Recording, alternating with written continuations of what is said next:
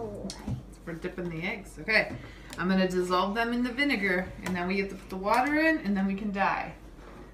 Okay. I don't want to.